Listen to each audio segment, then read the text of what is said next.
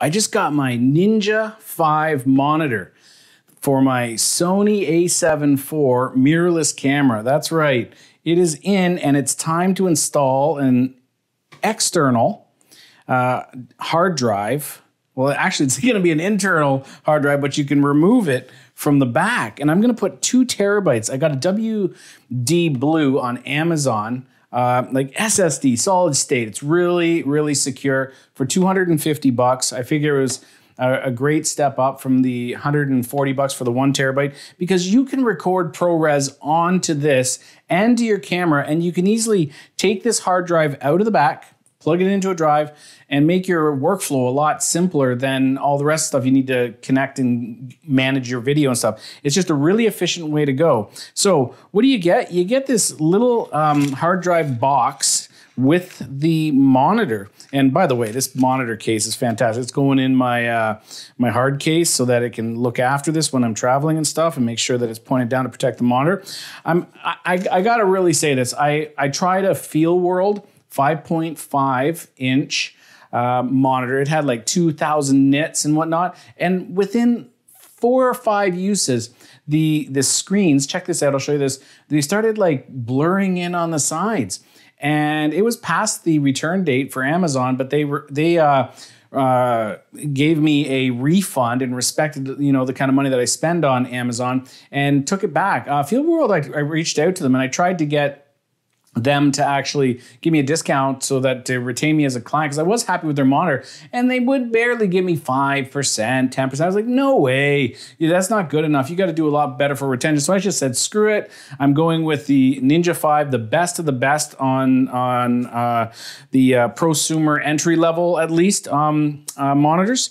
Uh, and uh, yeah, so essentially, all you need to do to put this on here is you, you get your hard drive out Check this out. This is so cool. And you get this guy like this, and it's like a normal hard drive, right? You get your little documents, and essentially, you need to uh, you need to take off and remove before installing. You need to take this sucker off. You got to protect those. You got to protect the grids, right? And do do do do do do you take this and you take your little case and you can hear about a lot of things online with these things sticking out and stuff and concerned about falling off. Wait till you see this. There's grip. There's two little slots in here. That's not doable. There's a lot of different things that you can buy to put hard drives into latch but they they range. Like this was free uh, case and whatnot and uh, you just got to put it in there. So the first thing is you get these four little guys these four little screws. So you got to find the smallest little screwdriver so you go and you get your hammer drill. Just kidding. And that's the wrong bit. You don't get that. You get a normal thin screwdriver and you make sure, you just check it to make sure that it, it will go good. And you make sure. And once that's good, you take these out. And I have these great surfaces. Um, I should put a link down below also um, to the Ninja 5 um, monitor, uh, this WD Blue on Amazon to get. But I also, these pads here are fantastic. They come in this case that's just amazing. Um, and it's way better, or way more affordable than Pelican cases uh, which are look like this, and they're super expensive, and they got the foam core, and you can buy extra and different things. But this case right here on uh, Canadian Tire, I got you know for under like 160 bucks, and it's amazing. It's even got wheels, and you can roll it. Anyway, I just had to m- mention that because you know gear is something, and learning through others to what works and what doesn't for when you go on the on the on the video shoot and you roll in literally roll in with a travel wagon like this that I just bought also with uh, from Canadian Tire so that I can come in with my gear because carrying everything in it's a big production right? And you got to look after that. So you want to be you know able to flow into the productions and whatnot. But anyway I hope you're getting some tips out of this and whatnot uh, so um, it's a kind of broad range. I just like to share myself a lot because I'm an educator. So you'll see these little screws on the sides okay those are what you're going to screw into. So, and you just got to make sure that this little um, area here is where the uh, the the little device um, peripherals are sticking out of. So you can see like that. Okay, so it's essentially in there flat, straight down. You put this in here, and you put that on. Oh, I see. It actually snugs it. Then it's not going to be moving around. Hey, check this out. okay, and do do do do do. Yep, you can see that it's snug, snug, and everything's cool. Now it's solid. There you go. Okay.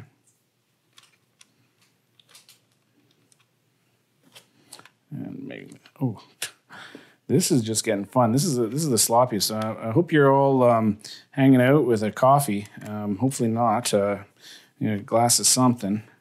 Um, do do do. So I'll speed this up. This video up.